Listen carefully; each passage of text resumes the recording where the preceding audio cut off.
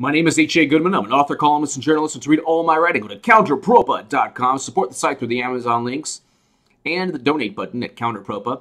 Share the petition below to demand the DNC give its computer servers to the FBI. The FBI requested these computer servers. They're at the heart of the entire Russian hacking nonsense. And yet the DNC has yet to give its servers for any examination uh, from any government agency. So share the petition below. Trump stands by wiretapping allegation. The spying of Trump is not an allegation. So this is very important.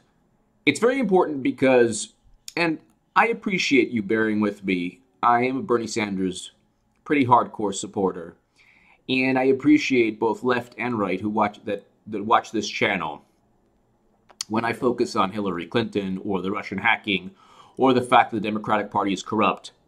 I do so from the vantage point of somebody who was cheated and was cheated by a political organization that doesn't care about progressive values, issues that I care about, like breaking up too big to fail banks. They only cared about power. So what they did was they stomped and bullied and destroyed a movement that was growing. The fact that the same people are now using the same the same tricks against Trump, that's very much what I'm against. The spying happened. I have been saying for a week the spying took place. President Obama did not order the wiretap single handedly, unilaterally. That's not the way Democrats work. What happened, and I've explained this many times, and this is actually what the White House eventually went ahead and, and explained on their own. Trump was is on tape. So that'll eventually come out. But Trump is on tape speaking to Flynn, everybody else in his campaign that was wiretapped, that was spied on. But I'll read you. Trump, uh, President Trump stands by his accusation that the Obama administration tapped his phones. The Obama administration. So there you go. The initial tweet was not true from Trump. But like everything that Hillary Clinton and Bill Clinton say and have stated in their lives, it's always semantics.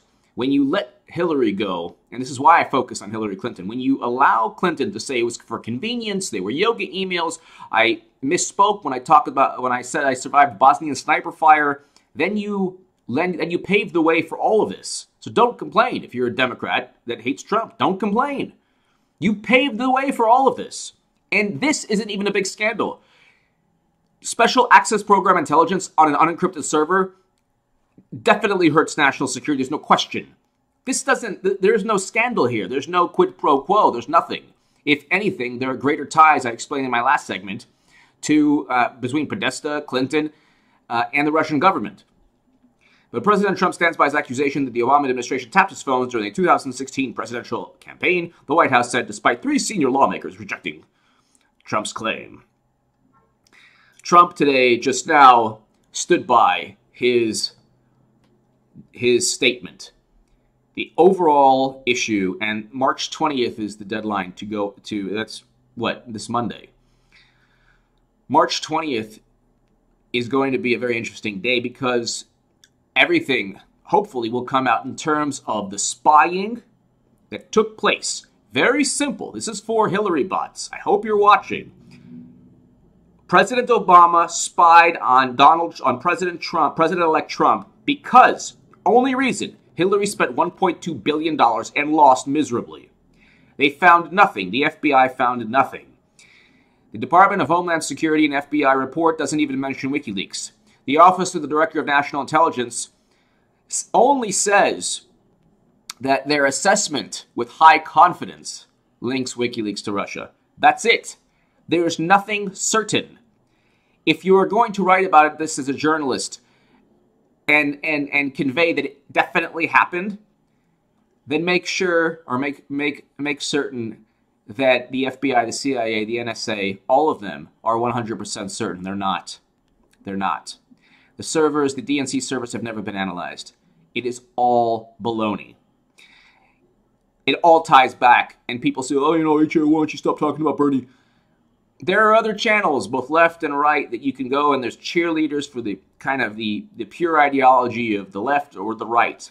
This channel is very interesting because it's from a Bernie supporter who and a Jill Stein supporter who was cheated by the Democratic Party, a very corrupt organization. So there's something for everybody here. But if you're going to say, oh, well, you know, uh, HA, why are you talking about Hillary and the Democratic Party, focus on Trump, all this? The same things that led to President Trump are the Democrats are repeating themselves. They are perpetuating myths, hiding behind semantics, only focusing on the lies or the the, the misstatements or the, or things that are not true with Trump and letting the same situations pass when it's Hillary Clinton, actually ignoring the national security issues with Clinton, which are far greater than anything that's taken place. You can disagree with Trump's budget. I do as well. But in terms of national security, that server that Clinton had, the private server for yoga emails, unencrypted, that hurt national security because it was hacked into. And there's a greater chance, a far greater chance that it was hacked into than Russia and Russian intelligence and Trump working together because they knew the DNC cheated Bernie Sanders. Give me your thoughts below. The FBI already cleared Donald Trump in, in New York in the New York Times article in October. Uh, in the Washington Post article, FBI wiretapped uh, General Flynn, found nothing, no link.